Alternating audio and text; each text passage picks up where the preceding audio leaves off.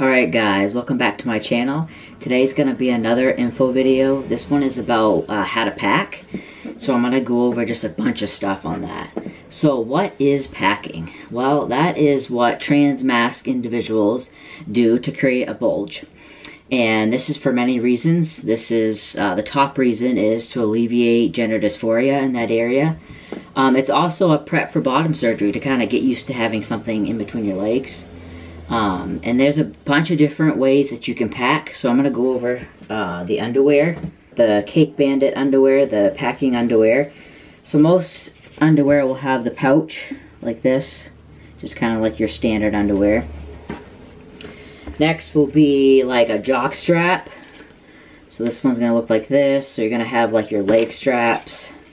And then again, it's just going to have the, the little pocket there. And this one's a little bit different. Same idea. This one's more for an STP, but same idea. It's got, but this one's got like several pockets and it's got the little hole to put the shaft in and then the button stun button. So sometimes like if you want to have the shaft kind of hanging just kind of freely, this is a good option for that. Next is like these harnesses like this. So again, these are STP ones as well. So again, it's more of like to have like that natural kind of hang for the shaft and balls. Same thing with this one. This one actually has no leg straps. It's the same idea, it's just kind of less, so like the shaft can kind of just kind of go back and forth and stuff. And then my favorite is the packing strap from my pack. So this one I like because there's no uh, leg straps, it's just the strap, and then it's just a little pocket like this and then it kind of hangs and like moves free with you. All right, so those are all the different kind of ways.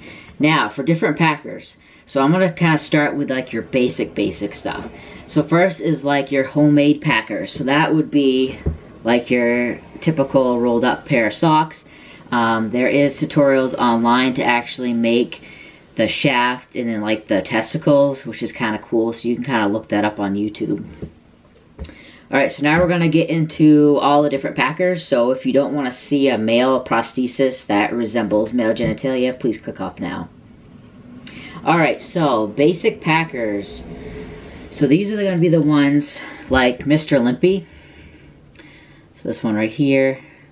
So this one I believe is the extra small and it's the one that kind of pokes out. Um, so I would recommend to get the ones that kind of naturally go down like that because if you notice if your underwear is not tight it's gonna stick right out and kind of look like you have a boner. Uh, so I also cut the balls off of this one because they were huge and made this stick out even more. Uh, so this one is very soft and squishy. Um, I'll be going into more detail on these individual packers like on their own videos but this is just kind of showing you what is out there for packers all right, next is like your mid-level packer. So these are like 35-ish dollars. So that would be like your trans guy supply packer. Um, this one, so I forgot to say, the Mr. Limpy is, this is not silicone. So just kind of be aware of that, and it's sticky. So this one is silicone and is not sticky. It's not as squishy, but it has a very like velvety feel and there's like veins on this one and so this one you don't have to powder, whereas the Mr. Limpy, you, you have to powder this because it's just so sticky. Alright, now the expensive packers. So these ones are like 60 to $70. So that's going to be like your Reel Magik, like basic packers. So these are not like the really expensive ones. These are just the basic ones. And I'll be doing a video comparing these two. So this one is the hard one from Reel Magik. So this one I actually ended up getting first uh, because I'm very physical active and they uh, recommended this one if you do like a lot of sports and stuff. Um, so I initially got this one and I just felt like it was too hard for me. So then I purchased their soft packer, which is a lot more soft and it weighs a lot less. The only thing about this one is you do have to powder it because it is sticky. Uh, but it's very, this is, I would say, these are better quality silicone than the TransGuy Supply, hence the, the price. So again, I'll be going through those more in detail in a separate video. Alright, and then your very, very expensive Packers, those are like the from the $200 plus, and these are the ones from like Gender Cat and Reel Magik. Uh, these ones are customized to you. Uh, particularly uh, color matching. You can pick the size. You can pick enhanced color, uh, floating testicles, movable skin. You can add hair. I mean, it, it just it goes on and on. Um, and these ones actually adhere to the body with either sheets, like GenderCat has the sheets, and or the gel. So the gel is what like Reel Magik has.